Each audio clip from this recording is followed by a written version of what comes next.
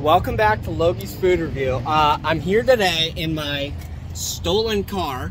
It was stolen from me yesterday, or uh, on Wednesday, so two days ago.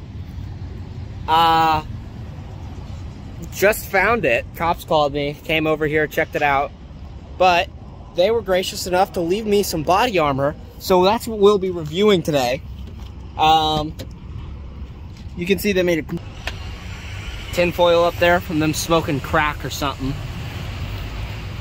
Uh, it's not a ton I can say, except for, fuck them. They stole it. I, to my stuff.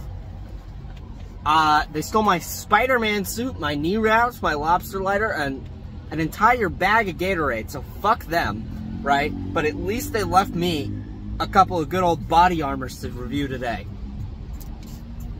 So right here, I got the strawberry banana body armor. I've said body armor about six times now. Uh,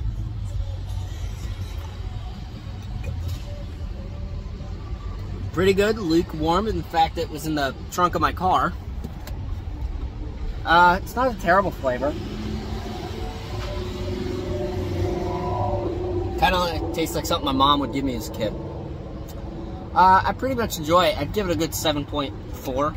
Also, check out the... Uh, hey. Yeah, I did. Alright. Yeah, here's also the... Um, that's the gearbox. There's my radio, or where my radio was. Overall, experience-wise, this was like a 2 out of 10. Oh, wait, I forgot to show you. There's the... Here's the straw there. We're smoking whatever drugs out there in that lighter. Uh, yeah, not really much to say about it.